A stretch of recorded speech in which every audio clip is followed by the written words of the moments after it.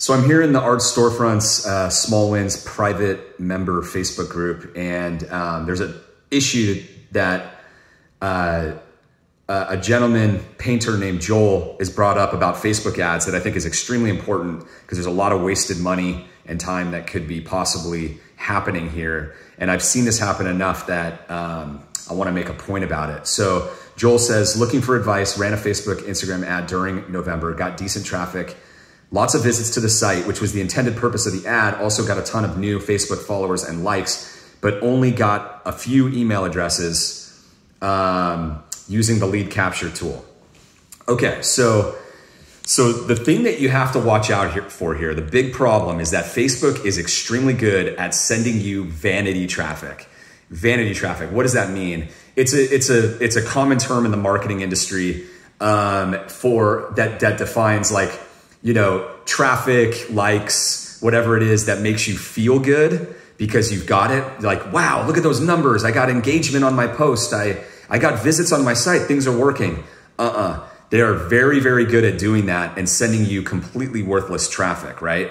Which is why the lead capture tool is so important. I cannot stress this enough. It is the only way that you can audit quality traffic right? That is what its biggest importance is. And whenever anybody, like an artist or photographer, goes, I hate pop ups. I hate pop ups. They're so annoying. Yeah, pop ups are annoying on websites that you don't care about and you don't ever want to buy anything on and you have no value on that site.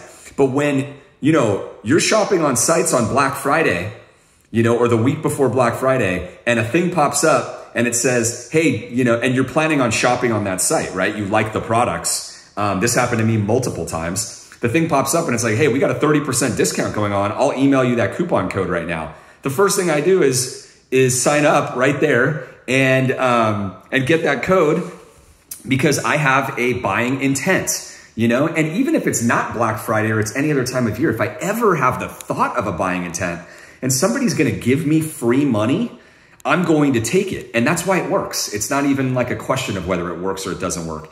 It just works. But it's a it's it's not about discounting. You know, it's about it, even though that works, it's a really you know good thing to do to give somebody a first time discount.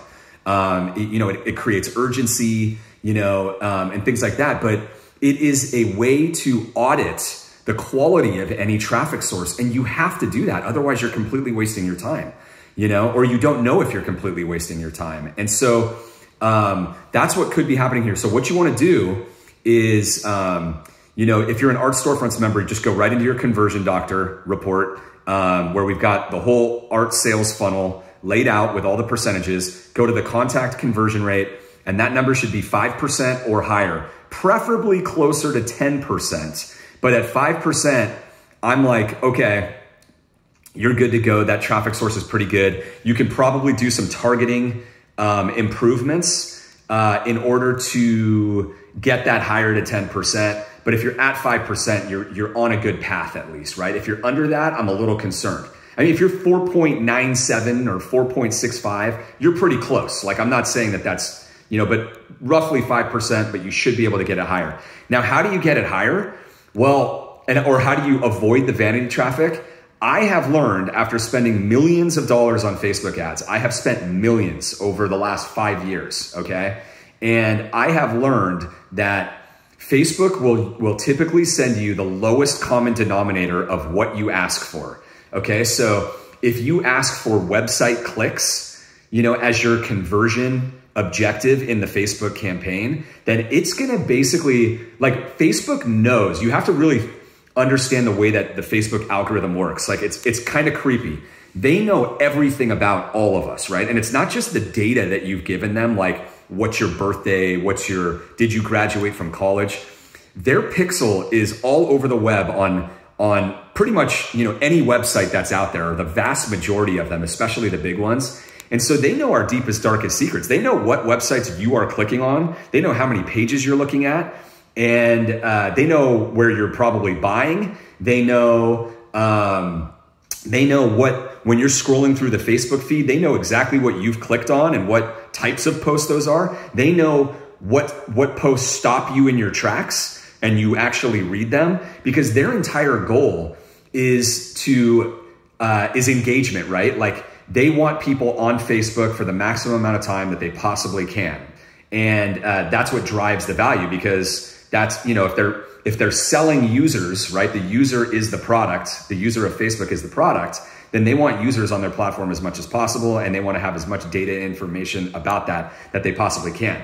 Now, that's kind of creepy, but from an advertiser standpoint, from you who's a, a, marketer, from a marketer standpoint, who's marketing on there, that's kind of an amazing thing. It's why Facebook works really well, you know, to target people and to do advertising because they really can hone in on that. So, um, what you need to be careful of in what, what this really comes down to is targeting, right?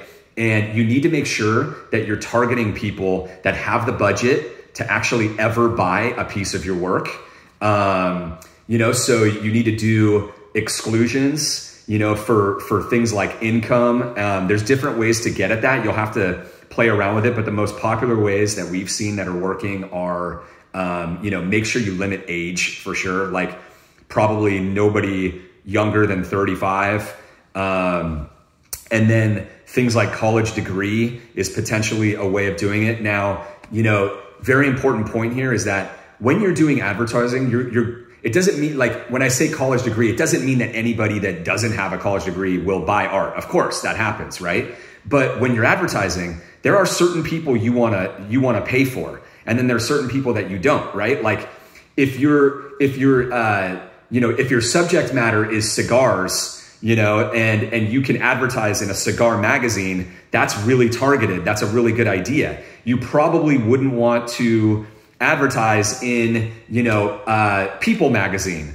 Uh, you know, I'm not saying that that wouldn't work and that some of the customers aren't in there, but you're going to pay a lot of money to have that really wide audience. And when you're just paying, when you're paying money and you want to get a, a return on your ad spend, then you should target it as tightly as possible, especially starting out. Always go as tight as possible and then move outward.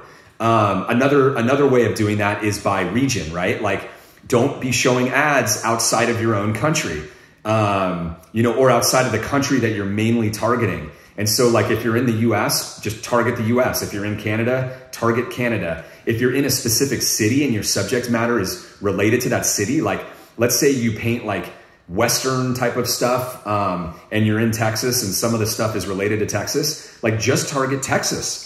And in some cases, you might want to just target the biggest cities in Texas. You know, maybe that's a way to, to kind of hack the, the income level.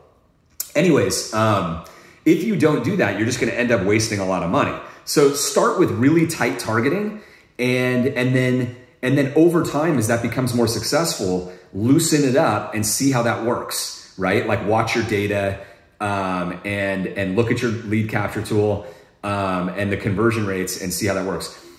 If you're not on Art Storefronts, then uh, uh, or you're not using the lead capture tool, you would need to somehow tie this all into Google Analytics um, and uh, and you know and, and get some sort of a handle on on on what the early signal is of the traffic that you're getting it's obviously a pretty difficult thing to do, but it's only that's the thing that you have to do because you know with selling art type of products, the sales funnel is typically not immediate.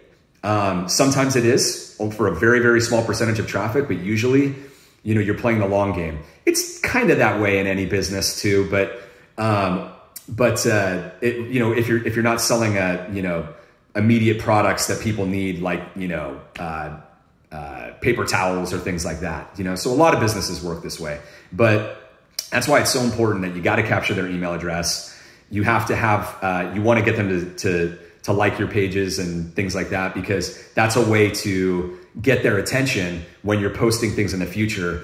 And that's the whole point of romance marketing, right? So you romance market over time you build a deeper connection with them. They they see your images a lot. That each time they get moved a little bit more by your romance marketing. It's not just your your images; it's your words, and uh, and that brings them down the different stages of the funnel, right? So you want to look at it like a funnel. The first step is just getting their email and all of that, and above that is just making sure that you're bringing the right traffic and, and quality traffic to your site that will potentially close. So I hope this helps. Um, and uh, for those of you out there that are doing, you know, Facebook ads or dabbling in it, This is really a, a great lesson and a great mindset to have up front. And um, watch your data, watch that contact conversion rate, and just keep tweaking until you see the numbers uh, that you like. And if you have any issues and you're you're having problems getting there, just be sure to ask questions in the Small Wins Facebook group. Thanks.